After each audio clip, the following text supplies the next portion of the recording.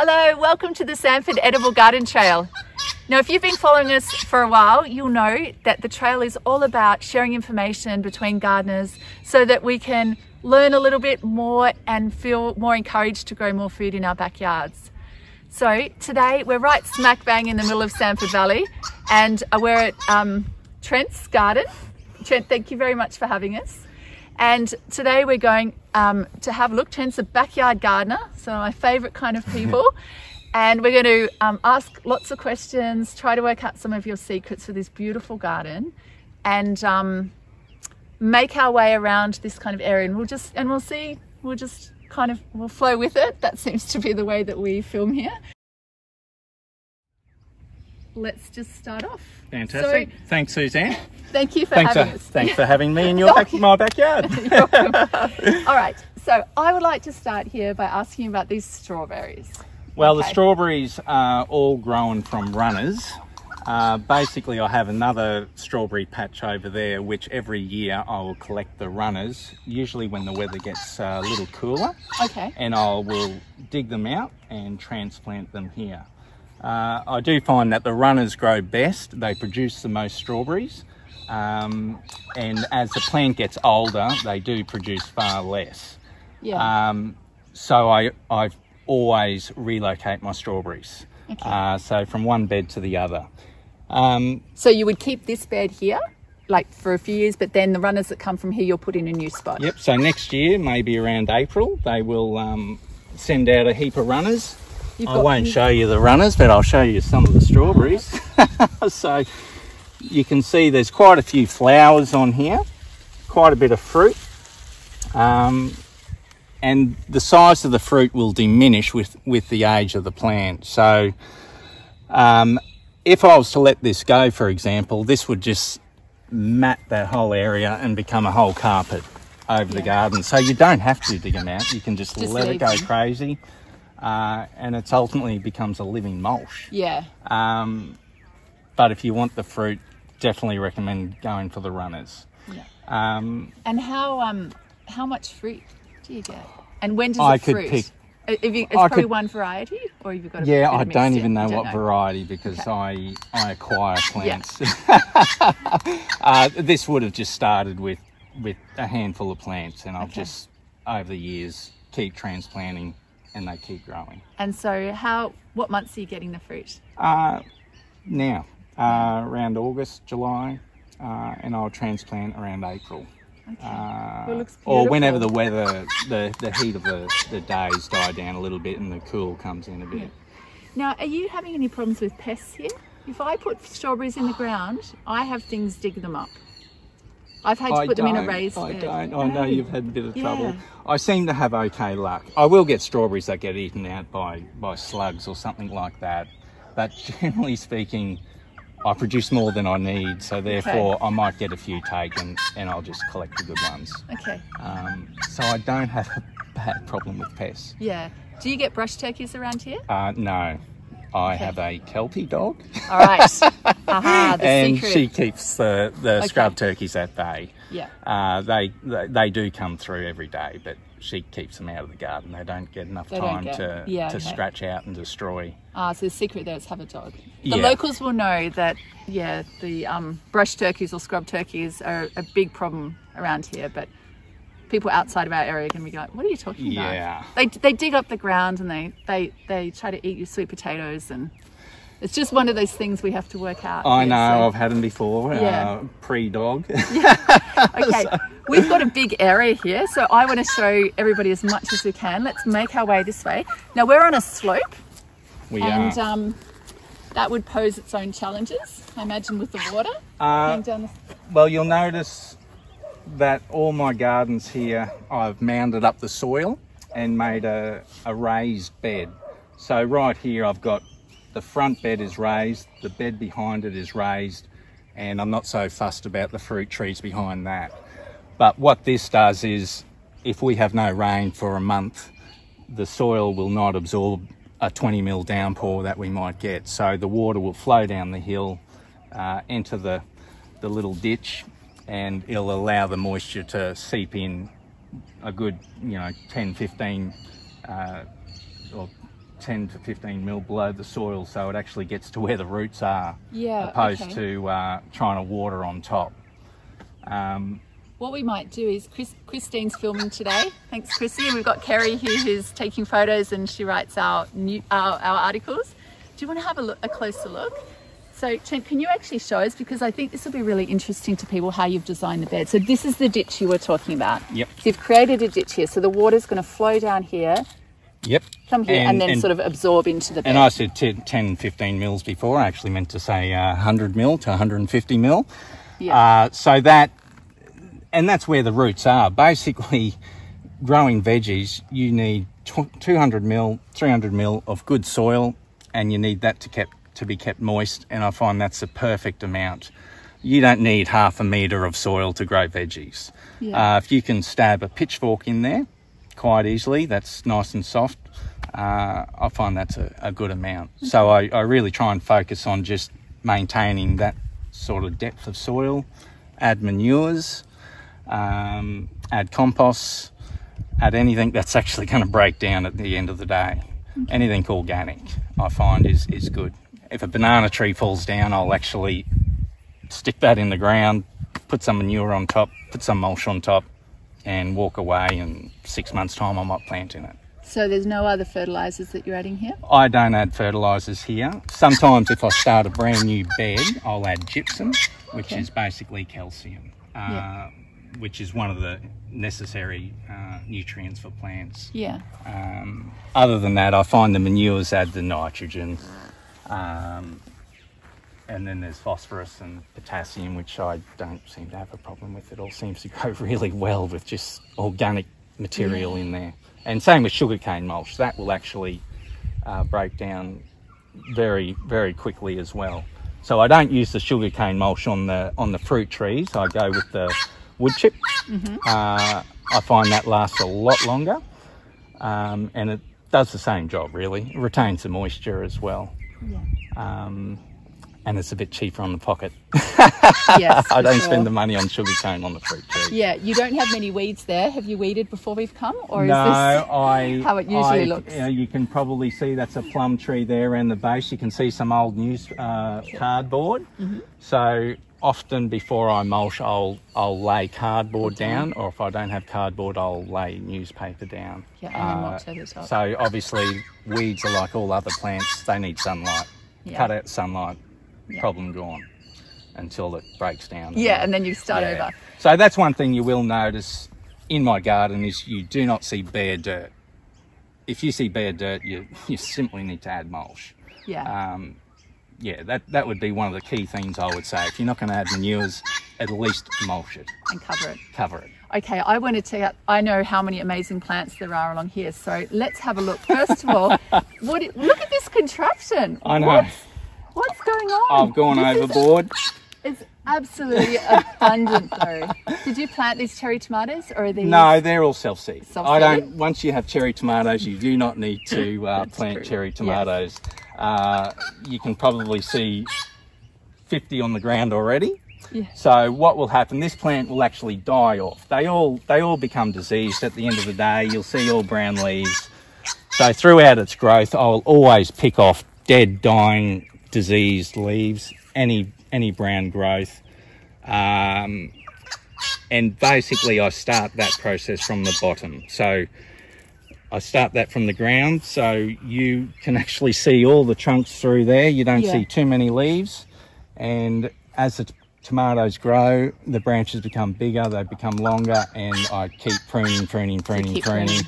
And now I'm at the end. I've decided I'm not pruning anymore. It's once it stops producing here, I'm done. Yeah.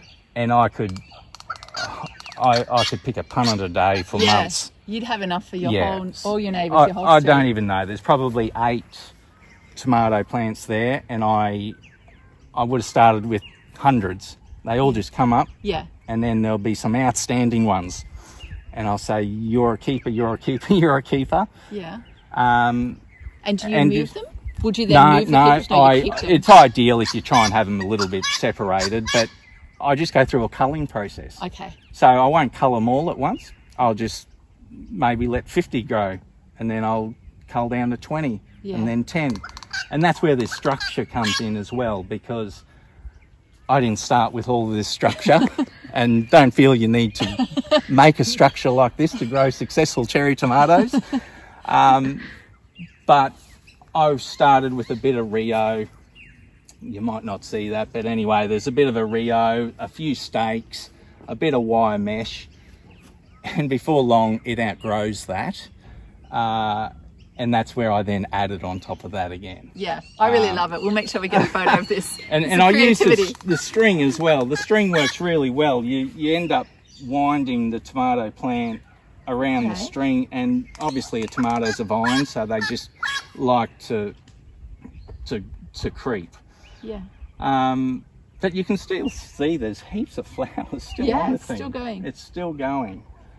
Um, and so you'll notice there'll be a big empty space there once that goes. Yeah. So once again, I might come back, add some manure, mulch it, and, and then, then, and then whenever the time comes, I'll decide what to plant there. Spring's coming, I might put oh. some cucumbers, and I'll reuse that. So if I grow cucumbers next, I'll redo that structure, and I'll make the make cucumbers, cucumbers creep grow. up the structure as well. Great. Uh, and they grow in the same fashion. They're a creeper. Yeah. And you twine it around.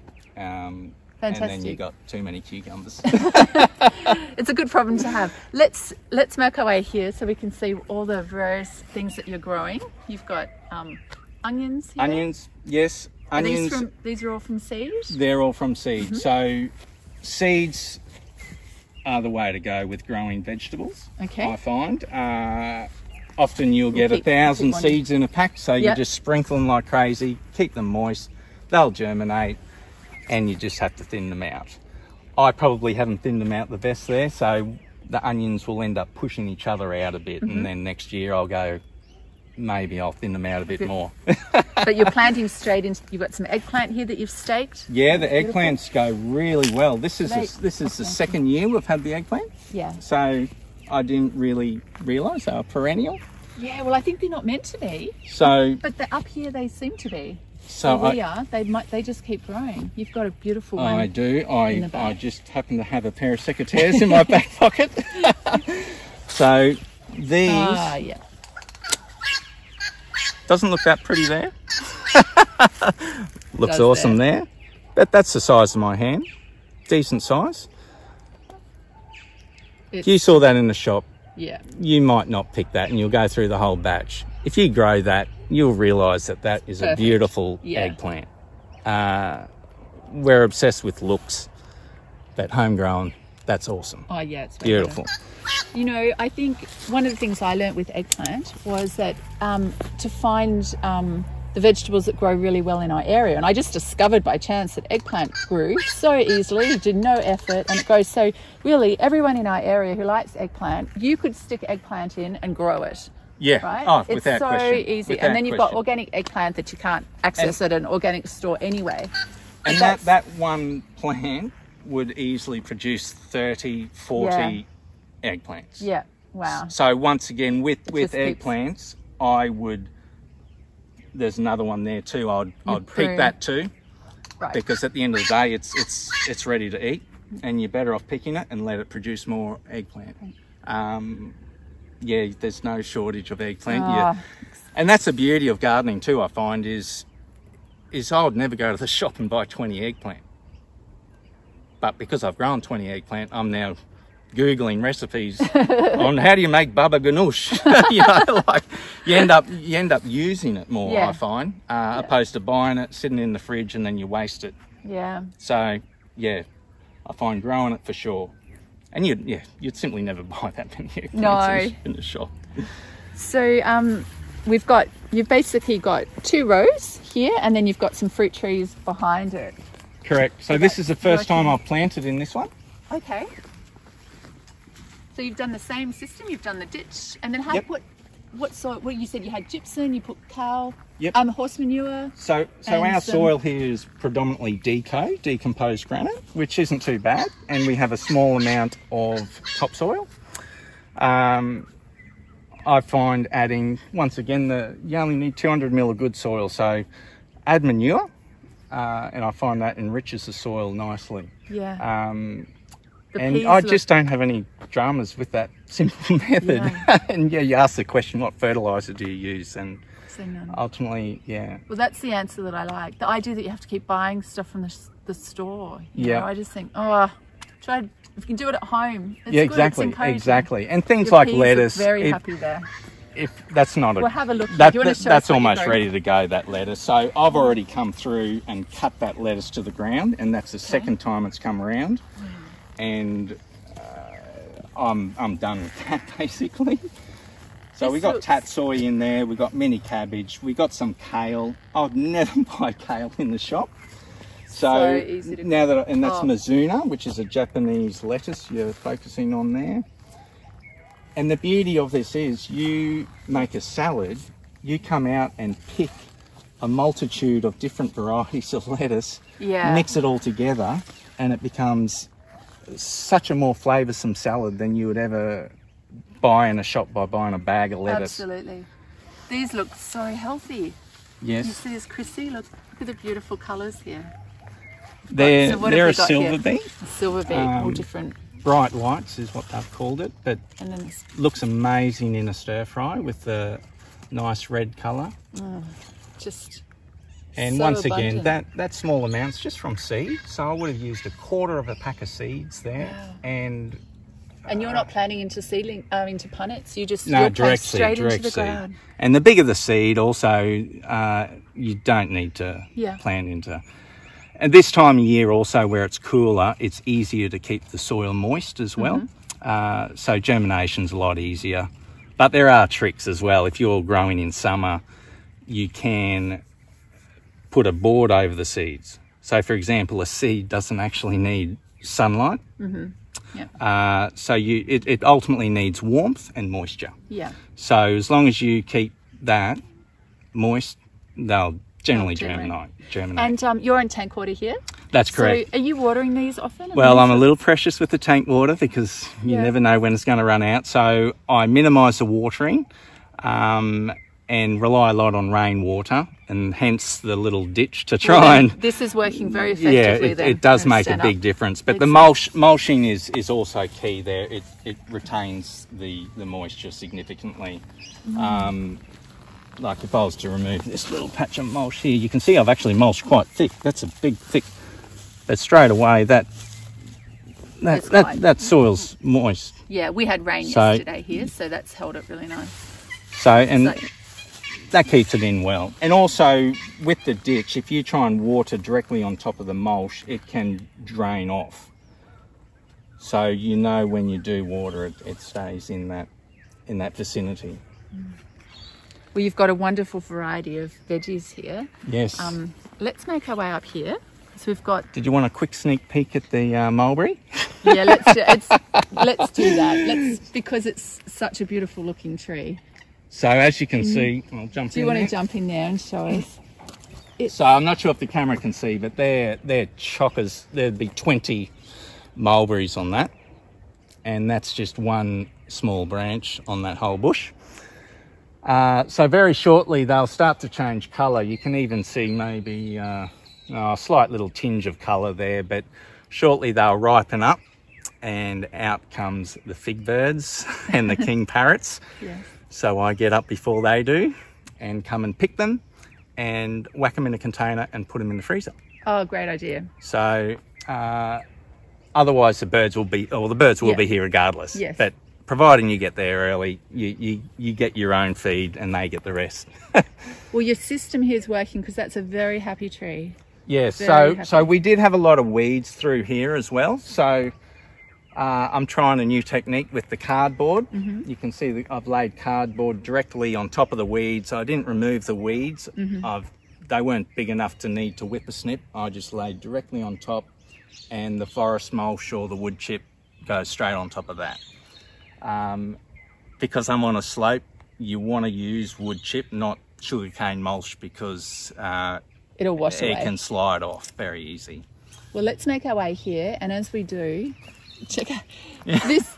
This is just, I mean, abundance. A citrus tree is just represents abundance like nothing else to me. It's just beautiful. They're actually extremely hard to peel, so we end up cutting them in half, juicing them, and making ice blocks out of them. Um, freezing Oh, the juice idea. and Okay. making ice blocks. Um, like all other fruit trees, they generally produce all at once, and you get a glut. Yes. So And that's so that's how you store it. that's You're correct. So it. we'll we'll mix these with the oranges as well. Mm-hmm. Might even put a, a bit of grapefruit. You you make it how you like it, basically, Mm-hmm. uh, and then freeze them in ice ice block makers, and they're there for however long. That's a want. great tip. Um, So up here we've got I can see we've got some rosella that's gone to seed. We've got a few more beds, a few things that are going to seed. Yep. So these beds this- here are just waiting. So I think one I grew pumpkin uh, this year, and once that died off, I chopped it up, chucked it on, bit of manure, bit of mulch. This one was just grass clippings. Um, once again, it's just organic material, just Okay. going to break down. I wouldn't even know what it looks like in there. Well, it's a bit Oh, wet actually. A bit wet, but anyway, turns to dirt. Plant food. So you're letting them just rest for a little bit and then you'll put some seed out. Yeah, right? I'll. I haven't decided. Decided. so I, I make it up as I go basically. But one thing I will do is is I'll I'll grab seeds and just hoik. uh, and whether that's from a basil, this is an old basil, uh, I will let it grow. So I won't chop that down. yeah. I'll let it grow and I'll I'll grab the seeds and you won't see them on the camera, but there's all little seeds in there. So that's one plant I will not grow. I will also not grow coriander either. Oh, you- when you say not grow, you, you won't buy. Uh, I won't. buy It, the it will. It will self seed. It will It self will seed. self seed. So I don't care where it comes Is up. that some coriander there? Is that what this little yeah. one is? Yep. They'll be self seeded. Self seeded coriander. Yep. And coriander is one of those uh, foods you either hate or love. So the same with the rosella. You've got lots of rosella Yeah, here left to seed. You'll throw them out. I yeah, they will definitely self seed as well. Yeah, these ones I did grow specifically in a little pot and then transplant them, but I didn't realise how berserk they went. Now I know a little story about you with the rosella. it's a beautiful story. It Right? is. Did you um you, you mentioned to me a while ago that you had all this rosella fruit, but you just couldn't be bothered turning it I into jam. I couldn't be bothered making jam. And I'd have this- prefer to be out here than in the kitchen. So what was your strategy? Uh, you? I, I I took a nice little photo of some beautiful rosellas and offered it up on the uh, the the give page. We've got a buy nothing group Buy in our area group. where you can give things away to people. So, and um, before long, I had half a dozen people turn up. so they were happy to get the fruit. They were happy they were to make the jam. They were happy. Which is- and uh, every one of them virtually offered uh, a, or promised a bottle of jam back when they were finished, which I didn't hold them to, but uh, it was a great way to try my own fruits. I call that a win-win. I think that's a fantastic strategy. You grow it, somebody else makes it, and you get to have it back. and so while you're looking at that, you'll, oh, I've still got the plant there, but basically you will get seeds in here. That was not a good example, but basically, here we go, here's a better one. So you will see the seeds, there's Oh, the seeds there. You can see that. So And you only need a few plants, don't you? Oh, you! I grew ten, and Must have had so many. I needed fruit. I needed twenty people to collect it, not six. so, and as you can appreciate, just one flower. I just got ten seeds there. Yeah. Can I have That- some? yeah, Thanks. oh, no, Chrissy wants some tea. uh, there's We'll plenty to go around. Great. so- Let's make our way here. You can see um, you've, Trent's got this. Um, it's really hard to capture it, but you can see. Maybe we can scan back where we've walked, Christine. We can see that all those rows we just walked, basically using that swale Yep. for all of your veggies, and then the fruit trees are down at the bottom. And um, and then once we've looked there, you can see we've got mango trees that are fruiting or flowering already. I should say beautiful papayas. At this section over here, I'd love us to get to this bit if we can. so, um,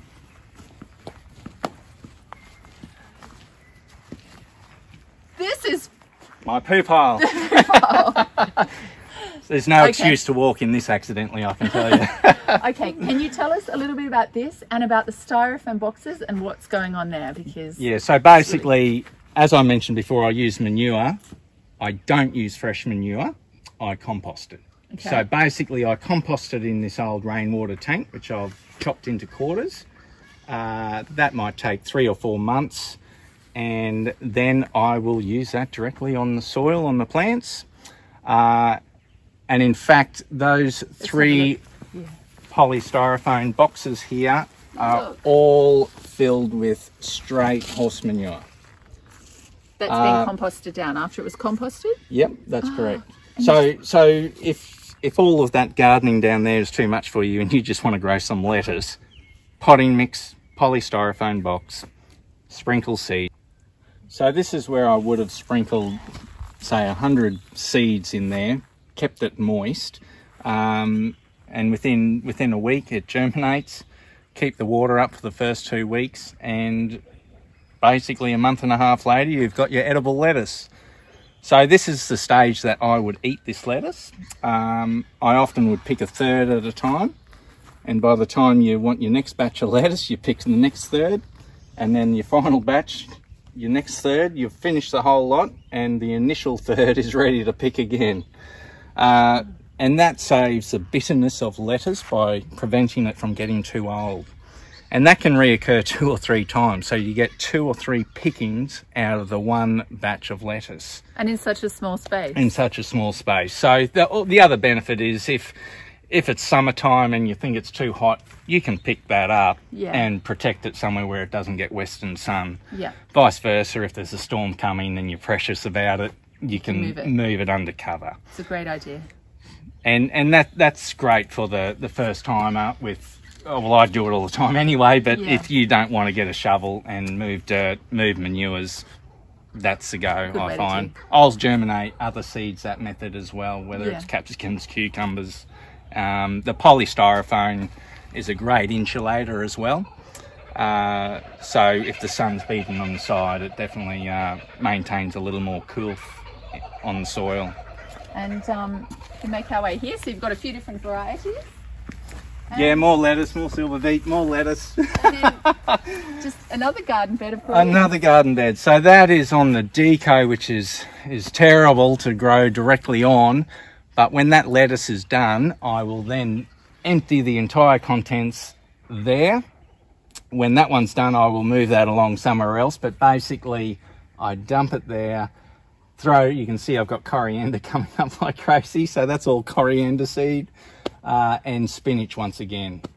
Uh, and that's how you've built that bed up. That's just yeah. Thrown, so that would be that would probably only be a hundred mil worth of of soil added to that, and as you can see, we eat a lot of, we're, we're like rabbits. We a lot eat, of greens. we eat our greens. Well, I think this looks beautiful. Just as a decorative garden, I love edible gardens. Yeah. As a decorative garden, I think it's gorgeous. And you get less weeds. The more the more condensed you plant, the less weeds you get growing. Yeah. So in that area, I actually haven't mulched, and it's just through the beautiful. pure volume of plants, cutting out the sunlight to the soil that keeps the weeds out as well. So. Well, thank you for showing us your garden. We're going to thank keep you. chatting. We're going to do a, a few uh, shorter videos in a moment. Um, but thank you for showing us your beautiful garden. I could hear the kookaburras just then. Hopefully yeah. that... Heckling me. Yeah. uh, so if you like the trail, hopefully you do. Hopefully you've got lots of ideas from um, Trent. I've already picked up a few tips. Um, please follow us along. Every two weeks we go and visit a new garden and um, it's all about sharing information and encouraging all of us to grow a little bit more. So please tell your friends and tell other people about the trail and we can all keep growing together. Thank you. See you later. Thanks. Bye. Thanks, Suzanne.